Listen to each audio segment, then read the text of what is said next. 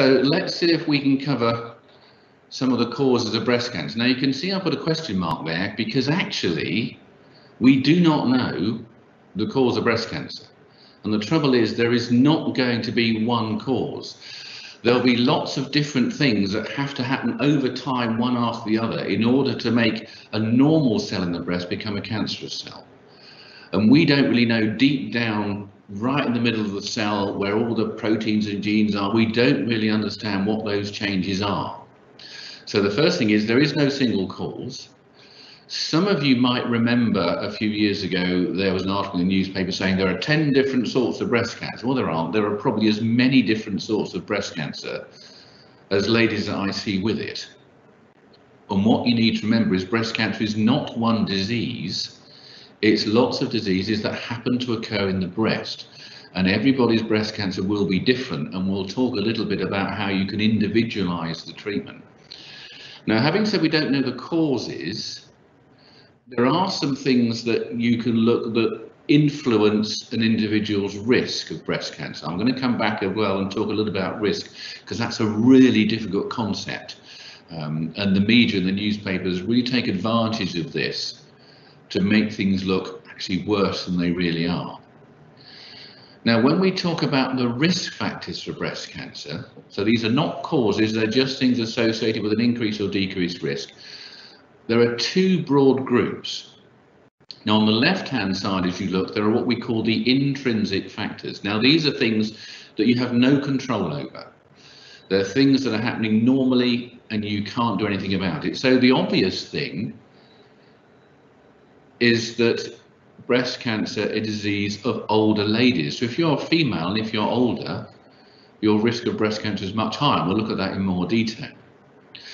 And then you have a whole lot of these intrinsic, what we call ovarian factors. Now, all of these seem to relate to the number of normal ovulatory cycles a lady has in her lifetime. So if your periods start young and they finish late and you don't have any children, you have more cycles and your risk is higher. And again, we're going to talk about risk in a minute. If you have children, but you have your child late, that means your risk is slightly increased. And if you have your children young, particularly in late teens, I'm not necessarily going to recommend that, but that does reduce your risk slightly. If you're breastfeeding, you tend not to have periods. So again, the number of cycles go down. So that would actually reduce your risk a bit. So if you don't breastfeed, your risk might go up a little bit. So all those things somehow relate to the number of normal cycles a lady has, but we don't really understand how that affects the cells and how it makes one of them turn strange and become cancerous. The other big thing you can't control are your genes, and we'll talk about those in a little bit more detail. And most of you are aware there are a couple of what we would call major breast cancer genes. They're called the BRCA1 and the BRCA2, and we'll talk about those in a bit more detail. Now, on the right hand side, you can see what we call the extrinsic factors, and these are things you can probably do something about. And it won't surprise you that it's the same three things at the top that affect almost every cancer risk you can think of. And I'm afraid that's being overweight, and for breast cancer, it's particularly being overweight at the menopause. Smoking increases the risk of every cancer we know about. There are also going to be things in the diet that we don't understand. Now, when I talk about that, I usually give the example of in Japan, where their diet is very different. They have a very high incidence of stomach cancer. They actually have a stomach cancer screening program in Japan, but their risk of breast cancer is low. If they move to the West, by the time they're second generation Westerners, their risk of stomach cancer is almost gone and their risk of breast cancer has come up. Now in Japan, they have pollution, nuclear power stations, we'll mention that again, overhead electric cables, all these things they have, the major difference is the diet. So there must be something in that, again, we don't understand, that can somehow affect your risk. But remember, it's not the cause. There are lots of different causes that have to act together. And the same with envir environmental factors. And again, we'll talk about family history risk, but we know, for example, that even if we can't find any abnormal genes and there's breast cancer in your family, because you've been brought up in the same area, perhaps eating the same foods, been in the same environment, something is increasing your risk very slightly. We will look at alcohol in a little bit more detail because that was uh, in the papers quite a lot recently, and also HRT. Um, I'll put that in brackets, an extrinsic factor, because obviously it's hormones that you take, but it's difficult to work out whether HRT really does affect your risk of breast cancer. Every time I see a paper that says it does, I see another one that says it doesn't. But I think at the moment we have to accept it probably does a bit, but not as much as you'd expect. And we'll talk about that in a bit more detail as well. I think it's also worth talking about some things that really don't increase the risk of breast cancer, even if in the past they've been raised of things that do. And it is things like antiperspirants. There is no evidence that increases the risk of breast cancer. There was an article a few years ago, and it very simply said that because you put antiperspirants under your arm, and most breast cancers occur towards the upper outer part of the breast, antiperspirants must be causing cancer. Now, it just happens that most of the gland tissue is in the upper outer part of the breast, so that's why most cancers here. There is no link between antiperspirants of any sort and breast cancer. Similarly, coffee doesn't cause it either, nor does hair dye, nor does overhead electric cables, all wearing underwire bras, which was again brought up as something that might cause it, nor does shift working. Again, for a while we thought that might do, but it's now been proven that it hasn't. Now I put breast implants and mammograms in brackets. Breast implants don't increase the risk of cancer of the breast, but there is this thing that you may have heard about called anaplastic large cell lymphoma, which is related to the implant. Now, if you have implants, you have a 1 in 30,000 chance of getting this rare, potentially quite curable cancer, but it's not a breast cancer, it is a lymphoma. So it does increase the risk of that by a tiny amount, but it's not a breast cancer related thing. Mammograms is more difficult because mammograms are x-rays, even though they are deliberately very low dose x-rays, so you can have lots of them. And you actually get about 10 mammograms to an ordinary chest x-ray and about 25 to a CT scan. So I've actually had two CT scans in the last 10 years, which is equivalent to 50 years worth of mammograms, and I'm not in any way fussed. But technically and in theory, it only takes one X-ray particle or whatever they are to hit a cell at the wrong angle to make it go funny. But you can get that from a transatlantic flight, from a cosmic ray, from Cornish house bricks, which tend to be a little bit radioactive. So the risk is very low and the other thing about, excuse me, um, mammograms is we tend to only do them after you're 40 and what we call the latent period. So the time from a, an X-ray particle hitting the cell in the breast and making it funny is decades. So if you have a mammogram at 40, you may never know about it. So although in theory, a mammogram could cause a breast cancer, in practice, looking at the figures and so on, mammograms actually save about 1,300 lives a year from detecting breast cancer early. So you have to balance all that up. But in theory, it might do. In practice, it doesn't. And mammograms are quite safe. I said we're going to talk about risk, and the trouble is you get bombarded with the press with things like that. HRT can double the risk of breast cancer, which sounds really scary, or abortion triples the breast cancer risk or you get things like it's linked to your height. Um, on there's the one that, that we had that a drink a day raises breast cancer risk. If you're not careful, you can end up with this mocked up Daily Mail that says reading the paper gives you cancer. So you've got to think a little bit about what risk really means, and bear with me on this because it's quite complicated. The first thing you have is what we call the absolute risk. So this is the risk of something actually happening in your lifetime, although most of the time it may not. So when I started training in Cambridge in 1980, hmm, the the risk of a lady who was born in 1980, mid 1980s, of getting breast cancer was one in 14. That was their absolute risk, which means to 13 ladies out of 14, it never happened. The risk now, interestingly, is about one in nine, and it's a true increase. It's not that we're better at picking it up but a, a, a, female born now will have a one in nine chance of getting breast cancer in their lifetime. So the risk factors are changing, and it's probably, if you remember those extrinsic risk factors, the alcohol, the smoking, and being overweight, those are probably the big three that have led to the increase in breast cancer risk. But again, in eight people out of nine, it never actually happens.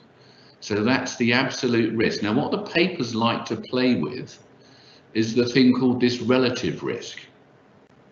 And this is how much more or less likely something is going to occur in one group compared with another. So it's with people who've been exposed to something or people who haven't and so on. It's a relative risk and I'm going to give you a couple of examples about that in a minute. But the important thing is the relative risk tells you absolutely nothing about your lifetime chance of actually developing breast cancer. It's almost a mathematical trick if you like. So the absolute risk is the chance of you getting something throughout your entire life and the relative risk is how much more likely or less you are to get something compared with somebody else who may have done slightly different or have been exposed to slight, something slightly different. So this is the bit that the papers play with that can make it sound much worse than it is. But remember, relative risk doesn't actually tell you anything about how likely you are to get something. A couple of examples, if we may.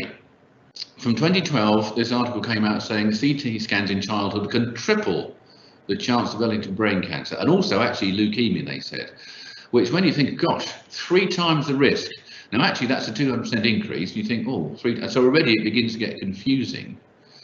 So having CT scans as a child trebles the risk not only of brain tumours, also leukemia.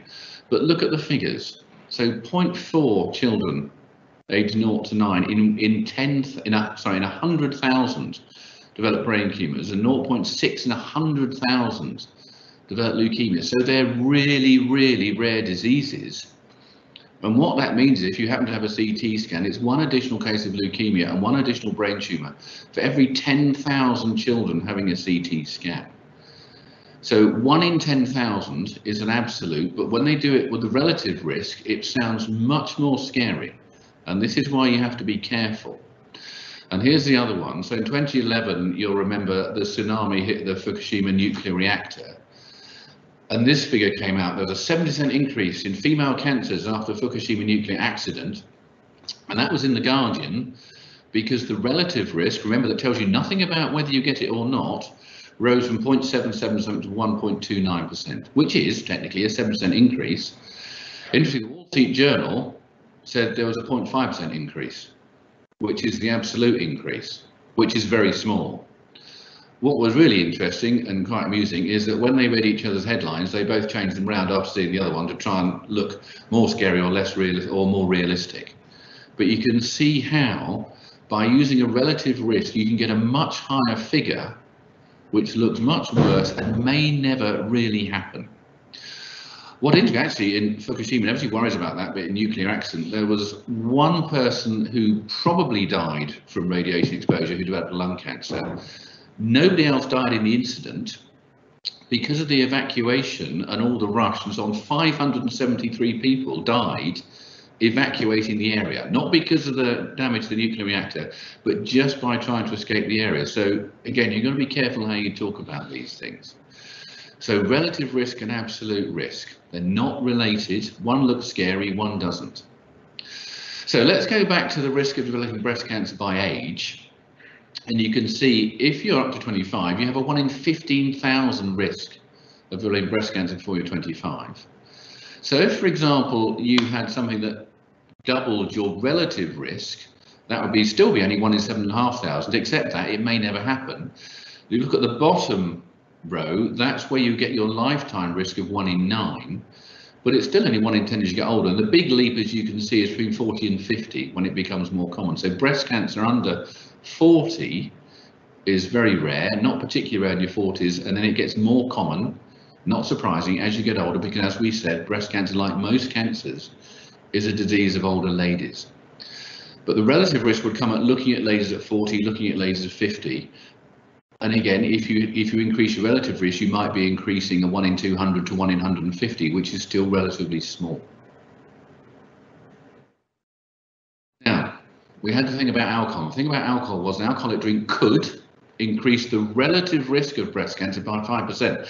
Now, bearing in mind when we looked at the Fukushima figures, there's a relative risk of 70%, and the actual absolute risk was very small. So you can see already the absolute risk is going to be really quite small. However, breast cancer is much more common than the childhood cancers we talked about.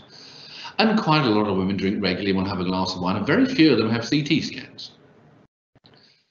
So it could equate to 50 women in 10,000 that have a drink every day developing breast cancer. Now that sounds a bit more, but of course you've still got to pick your 10,000 women. And if they're having screening and mammograms, and we'll talk about that as well, you pick them up early. And the earlier you pick them up, you can cure it.